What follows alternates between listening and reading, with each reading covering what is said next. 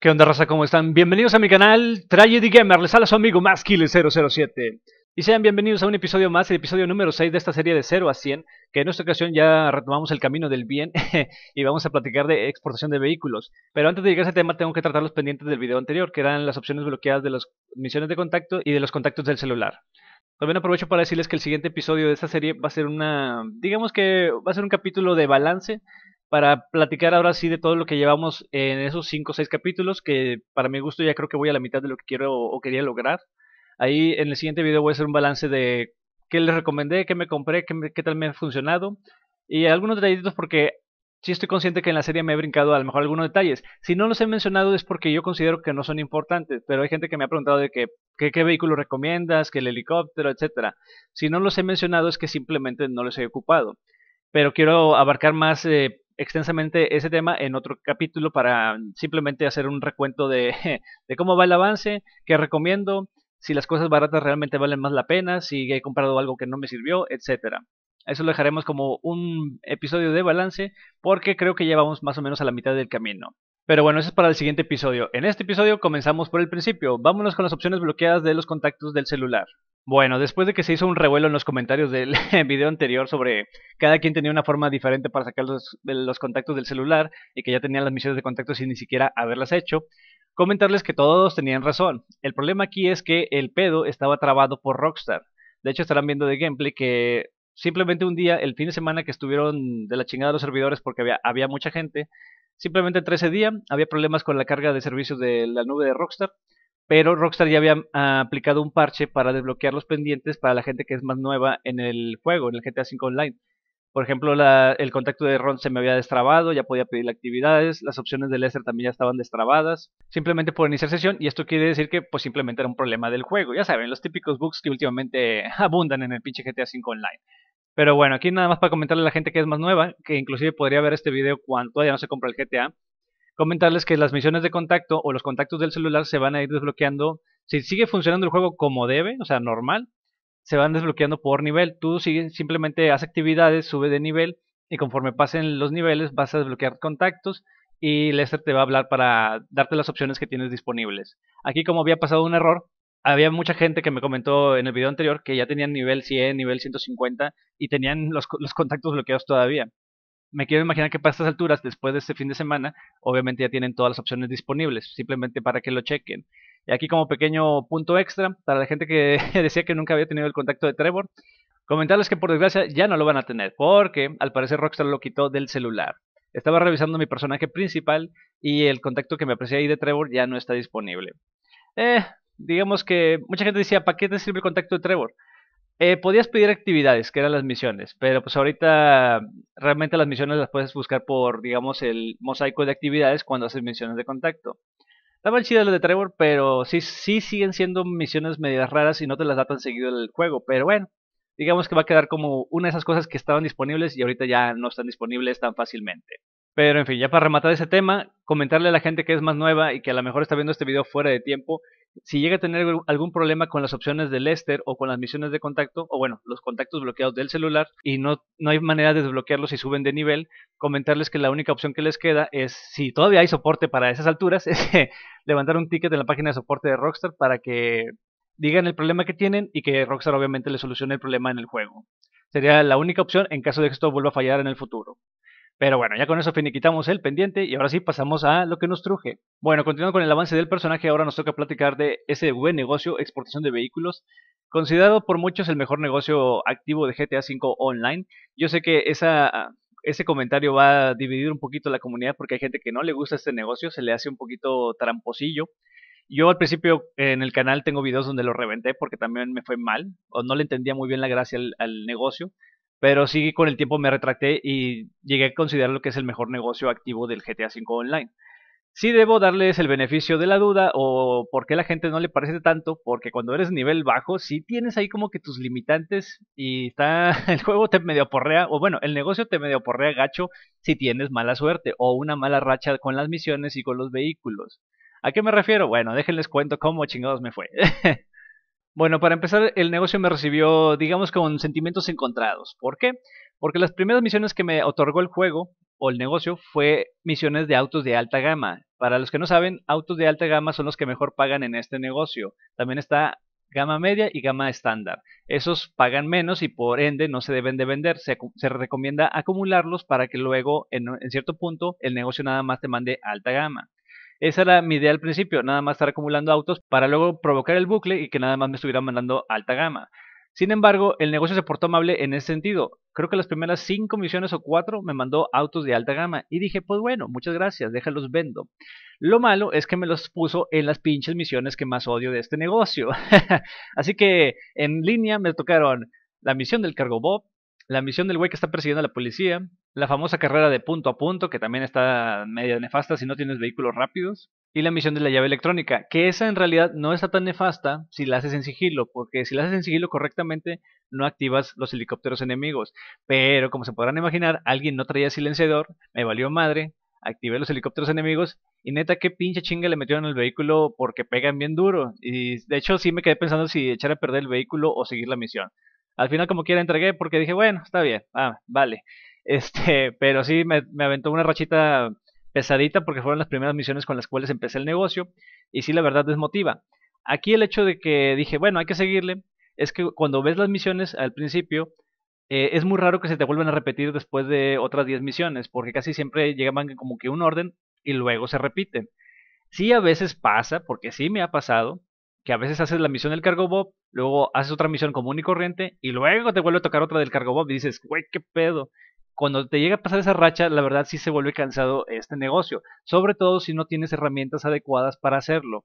Eh, herramientas adecuadas, ¿a qué me refiero? El famoso cargo Bob. Este negocio funciona bastante bien con el cargo Bob, porque si no lo tienes, hay algunas misiones que se te pueden complicar bastante. Y eso es hablando exclusivamente de la dificultad de las misiones. No olvidemos que si tú quieres hacer este trabajo o este negocio en sesión pública con más gente que está ahorita hasta la madre de opresores, gracias a profesor MK2 que mucha gente la glitchea y aparte pues recuerden que estuvieron regalando o están regalando todavía la profesora MK1 en la ruleta del casino dices gracias Rockstar. Pon un chingo de vehículos voladores lanzamisiles para este tipo de negocios pues obviamente no es no es muy recomendable. Yo lo estoy haciendo ya saben desde el punto de vista en sesión solo. Aún así tiene su chiste este, este negocio. La dificultad como quiera no es para arrumbar el negocio porque al final de cuentas lo que te tardas te recompensa a nivel de lo que batallaste suponiendo que hayas batallado, porque también hay misiones bastante tranquilas como bajar al güey del, del, auto, ir a la escena del crimen, que el vehículo está estacionado y simplemente tienes que matar un par de policías. O sea, hay misiones también que son muy sencillas y el negocio te recompensa muy bien cuando vendes un auto de alta gama. En ese sentido puedes decir, ah, pues a lo mejor hago menos porque realmente nada más haces una misión esperando que sea auto de alta gama, haces una misión y lo vendes y tienes una recompensa, en teoría deben ser 100 mil, pero realmente con el gasto que tienes para pimpear el vehículo te llevas 80 mil limpios, siempre y cuando no le hagas mucho daño al vehículo. Al menos eso pude ver yo con mi avance o en el resumen de horas que estuve jugando con este negocio de exportación de vehículos. Muchos me van a comentar, es que hubieras hecho los trabajos VIP para compensar el gasto del pimpeo del vehículo.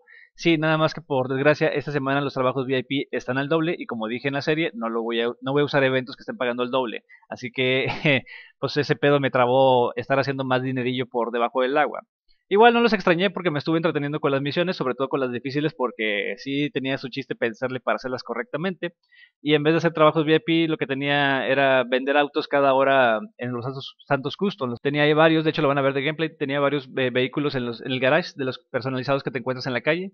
Y pues dije, bueno, ahí medio me compensa, tampoco era como que la gran recompensa o la gran compensación.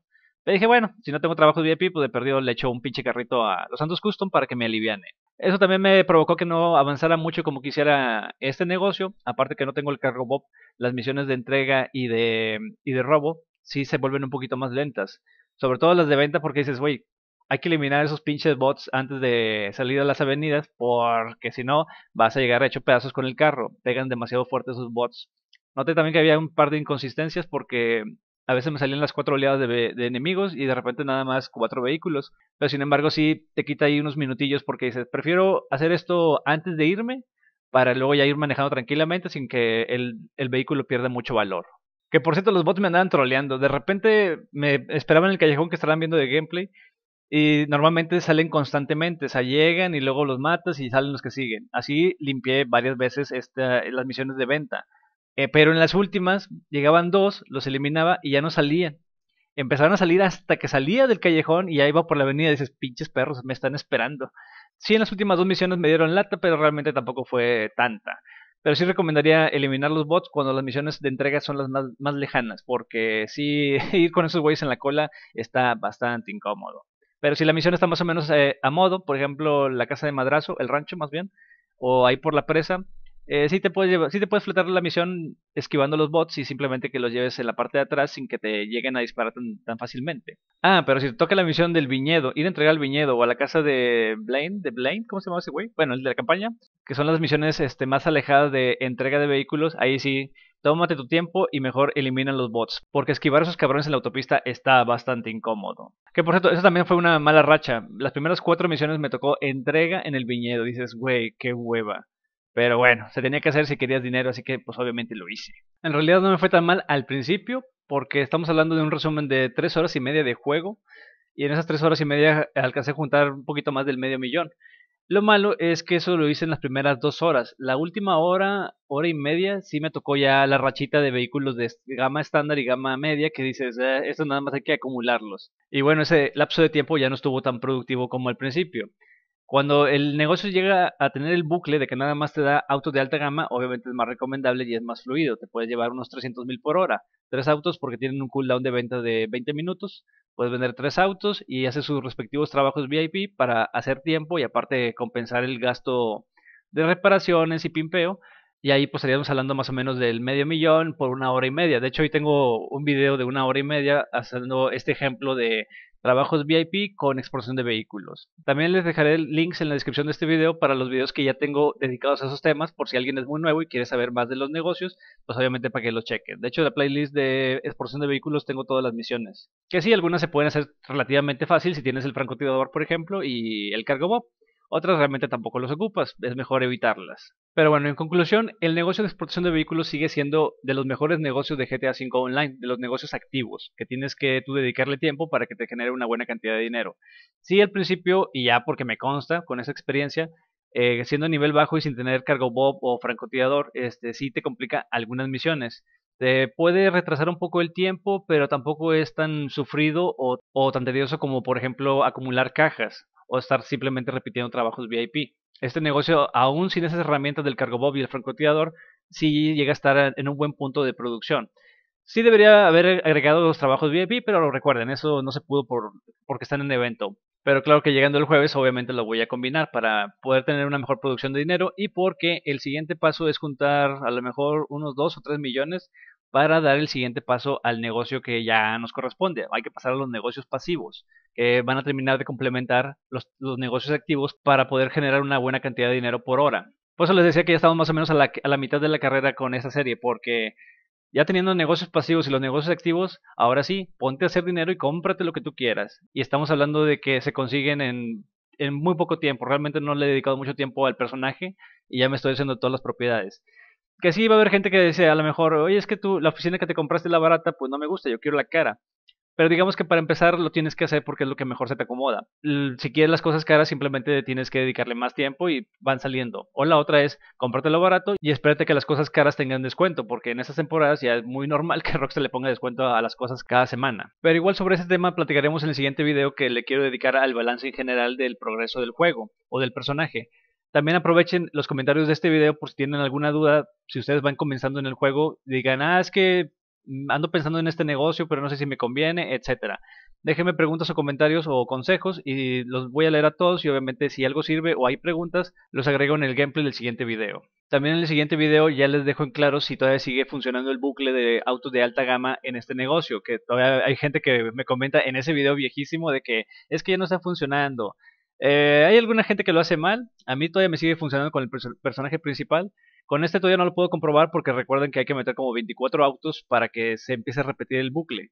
Cuando lo logre, obviamente se los comento en el siguiente video que espero ya tenerlo así ciclado, por así decirlo. Pero la verdad, aún con el bucle o sin el bucle de puros autos de alta gama, eh, digamos que si te toca una buena rachita de 3-4 autos de alta gama, pues obviamente es muy buena. En contraparte, si te toca la racha mala, que son puros vehículos de clase media o clase estándar, pues dices, ah, hay que hacerlo porque simplemente tienes que llegar a ese punto. pero realmente no creo que el negocio te castigue tanto. Siempre, más, más que nada, es, es variado para que no estés muy tendido simplemente con cierta gama. Algunas veces va a haber racha buena y, algunas veces va a haber racha mala, como en cualquier negocio de GTA V online. Como quiera eso se los comento o respondo para el siguiente video. Digo, siempre y cuando lo consiga, porque también tengo que dedicarle ciertas horas y sí está cabrón. Sobre todo con esta temporada de trabajo que tengo, que sí me ha dado poco tiempo para jugar. Pero bueno, ya saben que aquí andamos como quiera. Ahora sí, raza, con eso llegamos al final de este video. Recuerden que si tienen dudas, comentarios, sugerencias acerca del video o del canal en general, utilicen la caja de comentarios y ahí nos ponemos a platicar en la brevedad posible. Por mi parte es todo. Recuerden que les saludo su amigo más Killer007 y nos vemos en el siguiente video. Que tengan un excelente día. Chao, chao.